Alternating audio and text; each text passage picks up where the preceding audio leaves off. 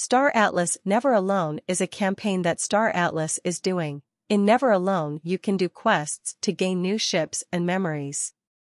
The goal is to gain Punib's memories back and you can help him by doing the quests and gaining the rewards.